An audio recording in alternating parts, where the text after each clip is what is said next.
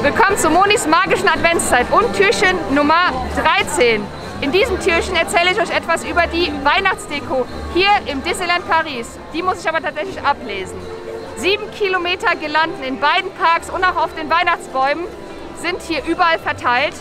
11.604 Christmas-Ornamente hängen hier irgendwo. Müssen wir morgen mal nachzählen. Ich frage mich, wer die überhaupt gezählt hat, der Praktikant. 78 echte Weihnachtsbäume sind auch verteilt in beiden Parks. Und 37.000 Blumen werden innerhalb von vier Tagen gepflanzt. Das ist schon eine Menge.